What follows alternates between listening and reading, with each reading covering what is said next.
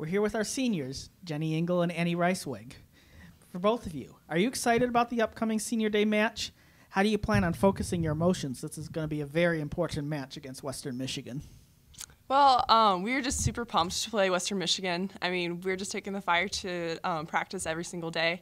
Um, as for the game day, um, I'm all about my routine, so I'll probably just um, try to focus in on that because um, that, that's how I play my best. Yeah, I'm really excited. my family's coming out, so it'll be fun to have everyone here for our senior night. but as for the game, we're really excited to get some redemption from Western Michigan. So. All right. Can each of you tell me some of your favorite moments from the past four years? Um, well, our whole team is just full of like you know just fun moments. Um, Every day is pretty memorable with our team. it is. Uh, I can remember um, one of our old assistant coaches. She would have us take pictures with all the mascots when we went to away sites. So that was pretty funny. We'd act like we were um, different animals. Um, we the Ohio University has a big um, inflatable uh, tube type thing, and we would pretend like we were popping it. Or we just have fun every day. Right. What is one piece of advice you would give to the rest of your teammates and future members of this team as they continue on over the next few years? Um, I would say just enjoy each moment because it really does go by pretty fast. I know it's pretty cliche, but you know, I feel like yesterday we were freshmen. I'd have to echo off of uh, Annie. I mean, just take every moment and enjoy it because um, you won't get that moment back. Um, and just, you know, work hard and um, make every day your best. Thank you. Have fun. Woo. We're here with head coach Carolyn Condit. Coach, you had your two best hitting performances by percentage in the road victories against Akron and Buffalo last weekend.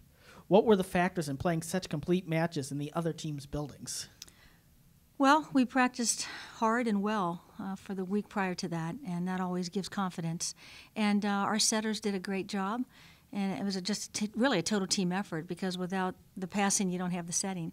Um, but our hitters went at it, and they were smart, and they protected the ball in broken plays. And uh, uh I really will tell you, we just have our middle shining as usual, and our right sides, freshman Stella Kukoc and certainly Katie Tomasak, our sophomore uh, played a lot on that right side this weekend and had some of their best performances. So when you're hurting a team with more than just your middles, um, you know it's pretty it's pretty incredible because then it's hard to double team just one hitter. So there's a lot of reasons. Uh, we had some left side step up at different times as well, and it was really a total team effort. And we we need to keep feeling that as we go toward the tournament.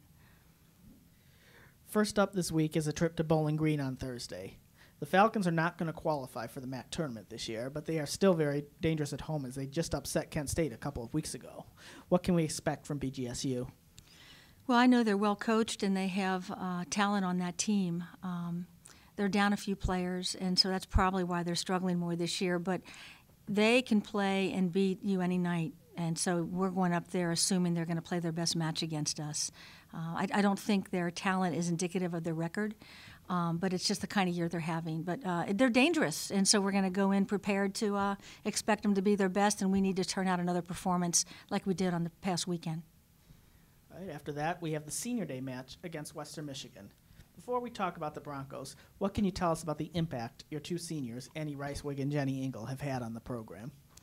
Well, both Jenny and Annie have been really superb offensive players for us. Annie at the left antenna and Jenny in the middle. Uh, but besides that, uh, I think one of the hardest parts of the game really is blocking. And we rely on Annie in our matchups, and she does such a great job lining up and getting her hands over the net and really blocking bigger than she is. And so that, she's made a huge impact, both as hitter and setter. And of course, Jenny at six five is getting those hands over the net all the time and is a huge threat. And uh, both of them, uh, you know, do a great job in both areas of the game. And Annie's played some six rotation for us back row.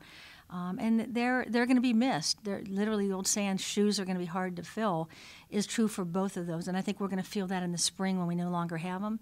And and they're great team players. They just work. You know, they they work hard and they love what they're doing. And you really miss players like that when they leave your program. And so uh, I'm just savoring every moment we have with both of them through our final home match and then into the tournament and hopefully beyond that.